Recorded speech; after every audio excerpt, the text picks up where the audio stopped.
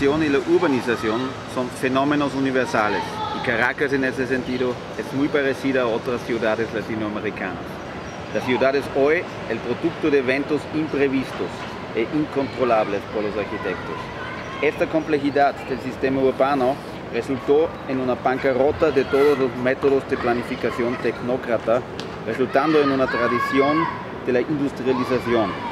La informalidad definida en nuestro libro no es una llamada al no planificar, al contrario. En Caracas no han faltado planes maestros para regularizar la ciudad.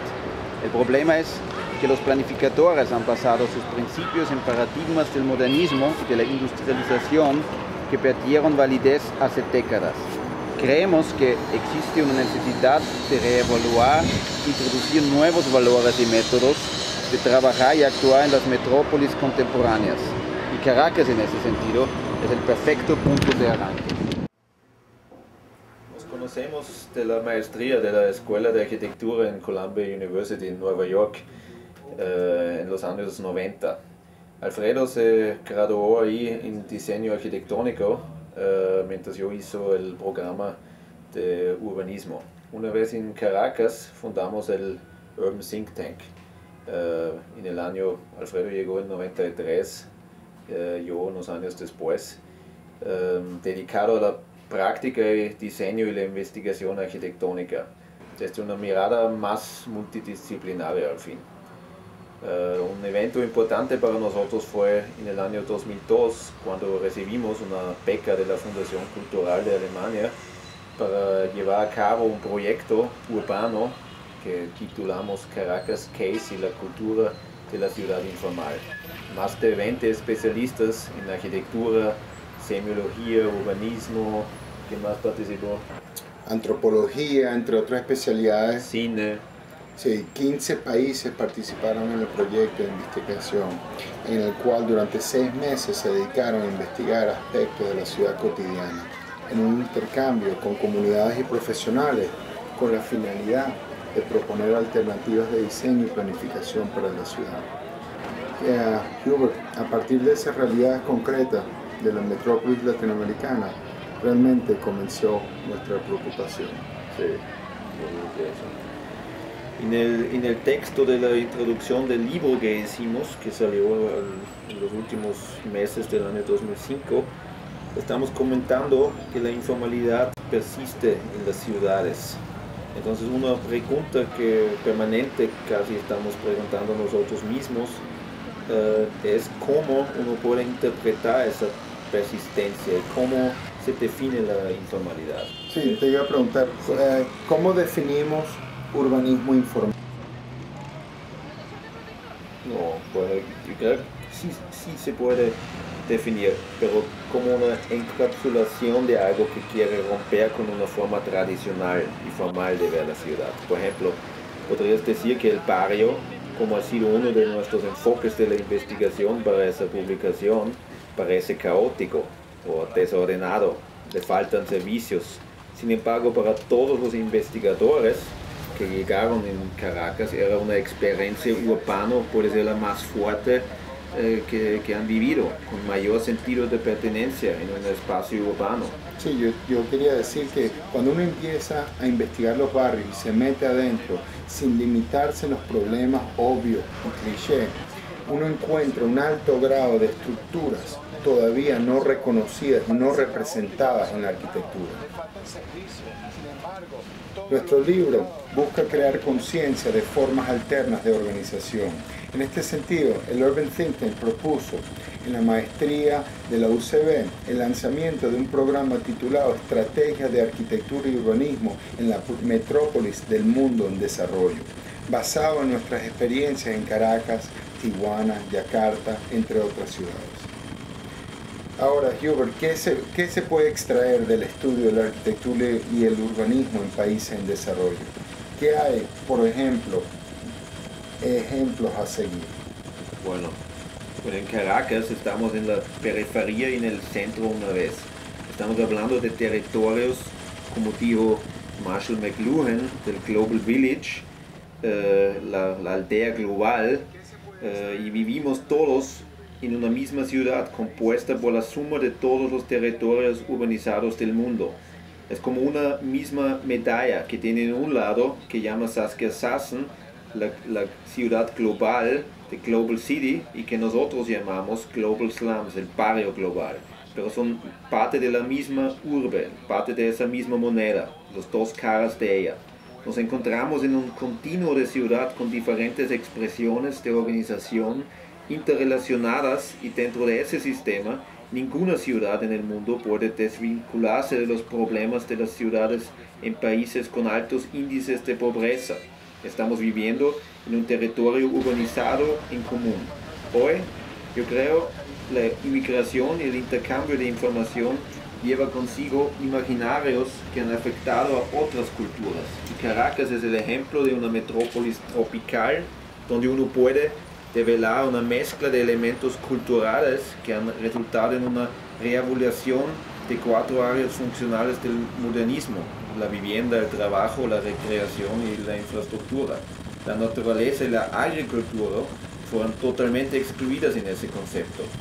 Eh, desde nuestro punto de vista estamos documentando y trabajando en sistemas que hemos encontrado aquí en Caracas que reúnen todas esas funciones una vez. Es un concepto de, de and-and. Son, ideas que no excluyen una a la otra, pero son más um, más, uh, más bien construyendo un solo bien, una sola ciudad.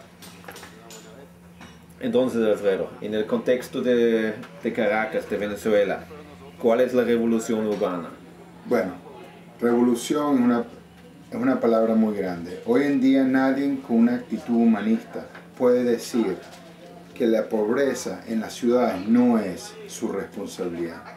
Creemos que poca gente en el mundo puede imaginarse la vida en ciudades de África, Asia o aquí en América Latina la pobreza está en vías de urbanizarse y se está ignorando su existencia en el discurso de los problemas en las universidades. En este sentido necesitamos una revolución urbana, no en el sentido eh, soviético, sino en el sentido de evolución, una, una, una actitud que resuelva problemas reales nuestro trabajo se entiende como una contribución para crear conciencia, visibilidad y para despertar una responsabilidad humanista. ¿Cómo ves tú la situación de las ciudades? Bueno, la situación en, en, las ciudades donde nosotros hemos trabajado en los últimos años está obviamente fuertemente influenciada por su realidad socioeconómica. Son aspectos locales dentro de un entorno, de un marco más grande. Como arquitectos, y eso puede ser más importante para nosotros en, en ese sentido, y planificadores, podemos, uh, ayudar a potencializar a través de estrategias y ideas innovadoras, como es la creación del sexto municipio aquí en Caracas que propusimos encima del sistema de, de ríos y quebradas formado por los espacios no reconocidos de la ciudad como son los, los espacios debajo de la autopista donde construimos como la, eh, la casa para los niños abandonados. Son, son, proyectos concretos que hemos realizado y eh, que son hoy en día eh, puntos de referencia, no solo para, para los alcaldes de los distintos municipios, pero yo creo ya tuvimos un empuje también hasta en otras ciudades y uh, qué pasa debajo de esa red y dentro de las zonas no atendidas, como la red de las quebradas, ya mencionado del río Guaire, para el sexto municipio, los linderos aldeanos que caen dentro del Ministerio de Transporte y de Infraestructura. Nosotros nos integramos en un grupo comunitario en Petare. ¿Te recuerdas? Cuando planificamos el hogar Mamá Margarita, Don Bosco para niños huérfanos en un terreno que no aparece en el catastro debajo de un elevado de la autopista del este, en Petare. Y uh, ese experimento fue muy interesante. De hecho, creo que lo llamamos en ese momento arquitecto Bonero, basado en los vendedores ambulantes de la, de la calle. ¿no? Estas experimentaciones traen consigo un valor real a las zonas de esta ciudad que no están reconocidas. Tuviste hoy cuando fuimos caminando por la cruz que siete nos hablaba de lo importante que fue que le entregaran títulos a cada una de las viviendas. ¿Por qué no eh, nos dices algo sobre eso? Bueno, eh, en un momento eh, proponemos reorientar nuestros métodos y nuestro sistema de valores en el trabajo al futuro, un futuro común en Caracas. Una lección básica es entender la, la huella de la ciudad, es decir, el área necesaria para hacerla funcionar.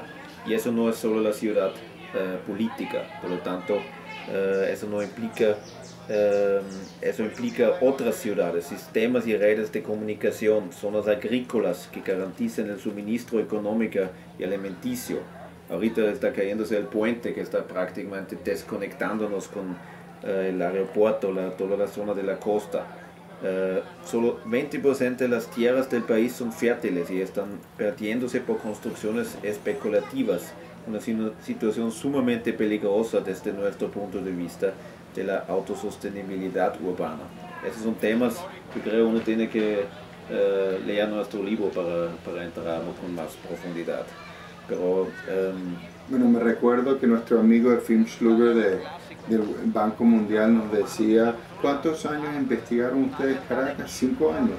Me decía, te tomará 20 años escribir sobre eso.